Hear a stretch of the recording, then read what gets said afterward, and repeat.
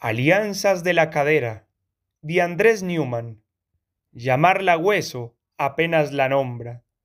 Pocos casos ilustran con tanta elocuencia cómo la estructura ósea se alía con la carne. La cadera se enmarca en un triángulo sometido a continuas tensiones, el que forman deseo, posesión y autoafirmación. El primero depende del correcto encaje entre mirada propia y mirada del otro. La segunda, de las presiones externas, clave del carácter. La tercera sostiene el esqueleto entero. En su edad temprana, la cadera derrocha un encanto flexible, sin aparentes puntos cardinales. Durante la infancia aprende los ritmos del juego y la disciplina del pupitre. A partir de la juventud comienza a desarrollar poderes firmes, una insolencia acompasada con cierta indefensión. Este periodo pone a prueba sus umbrales de dolor y su capacidad para estirarse. Con la madurez cobra mayor autoridad, un magisterio en el oficio de habitar los espacios. La vejez va empujándola a una fragilidad muy específica, cruelmente diseñada para ella. Entonces se convierte en una mezcla de calcio, ingravidez y miedo. Nuestras emociones quedan prefiguradas en las caderas. Las picudas, por ejemplo, son fáciles de herir. Atraen por igual a los ángulos de los muebles y a los dedos que señalan. Más introvertidas, las rectas se niegan a sobresalir, rechazan por completo las evaluaciones.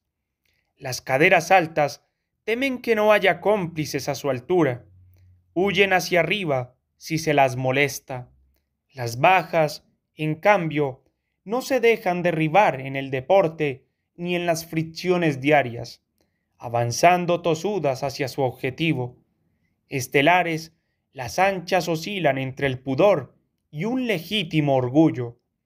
Se diría que gestionan su presencia, calibrando las ondas expansivas de cada movimiento. Tendidas se distribuyen con admirable justicia. Las breves tensan su sinopsis, conscientes de que todo lo importante puede resumirse. Imposible asegurar quién sopesa a quién cuando intentamos asirlas.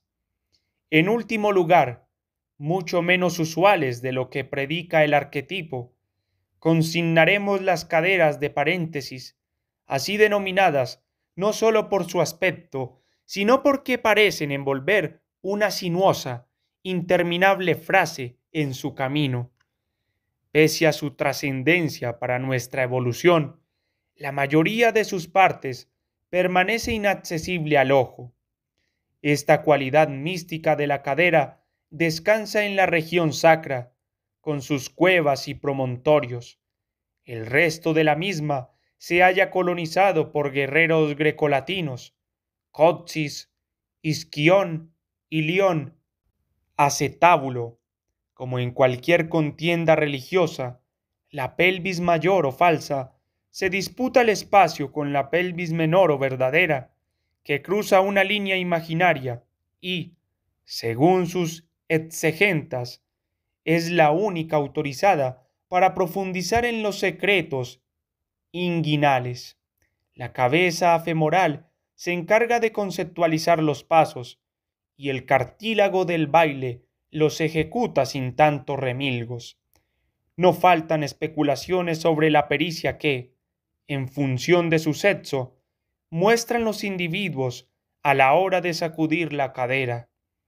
Exámenes recientes refutan que la masculina esté menos dotada para la danza, atribuyéndolo a un conglomerado de pedagogías deficientes, traumas generacionales y bares erróneos. Receptor asimismo de adoraciones paganas, ha inspirado un complejo fetichismo. Ello se debe al influjo de la cresta ilíaca, que puja por debajo de la piel o por encima de cualquier elástico, y, en particular, a sus legendarias hendiduras posteriores. Las encuadra el rombo de Michaelis, similar al objetivo que improvisan dos manos cuando juegan a capturar imágenes.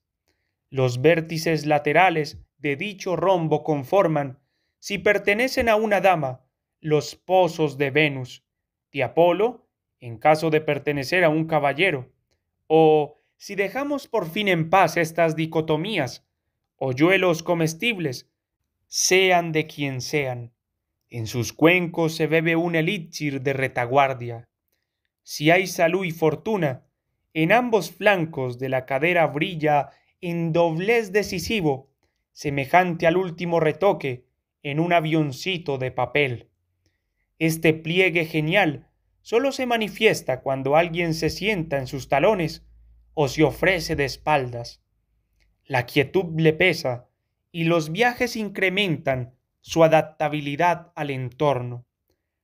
Radiografiada de frente, sin esas espesuras que la rodean, la cadera tiene un aire de elefante oteando la sabana.